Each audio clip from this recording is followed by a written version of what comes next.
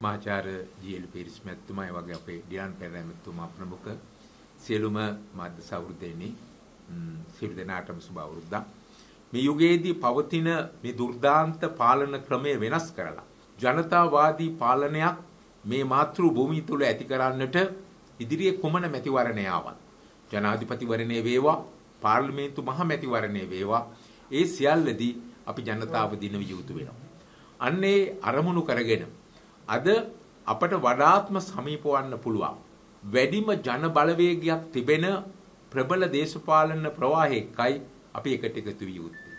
අන්න ඒක අරමුණු කරගෙන තමයි අද මේ සමගි බලවේගයත් එක්ක මේ පොදු වැඩපිළිවෙලට අපි එකට එකතු ඒ නිසා අපේ ඒකායන අරමුණ බලාපොරොත්තුව පැතුම මේ රටේ පොදු ජනතාවට අද මේ ආණ්ඩුව ගෙන යන වැඩපිළිවෙලට වඩා වෙනස් වුණු වැඩපිළිවෙලක් අපි ඉදිරිපත් කරන්න ඕන. මේ ආණ්ඩුවට අද ණය ගන්නවත් බදු අය කරනවත් හැරුණු විට වෙන කිසිම ආර්ථික ගැටලු වලට විසඳුමක් ඇත්තේ නැහැ.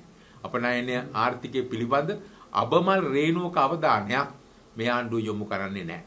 ණය ගෙවන්නට තවත් ණය ගනිමින් මේ රට ආර්ථික අගාධයකට ගෙන යන තත්ත්වය තමයි අද සිදුවෙමින් පවතින්නේ. එවැනි අවස්ථාවක අපි දකින්නේ විශේෂයෙන්ම විපක්ෂය අපට එකට එකතු වෙන්න පුළුවන්.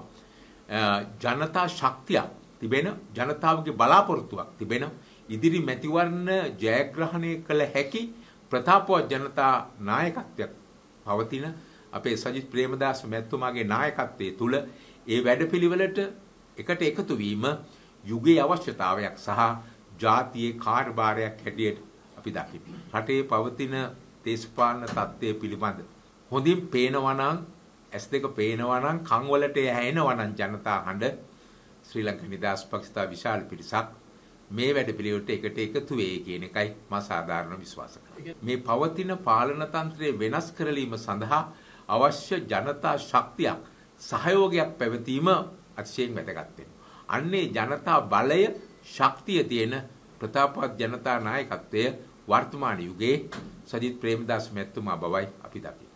ඇත්තටම මෙහෙමයි.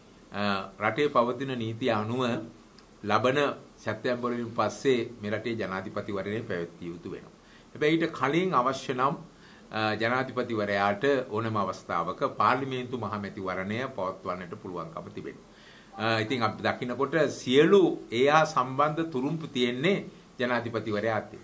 එතුමා ඉතින් කුමන තුරුම්පු ඉස්සෙල්ලා ගහයිද කියන එක අපිට කියන්න බෑ.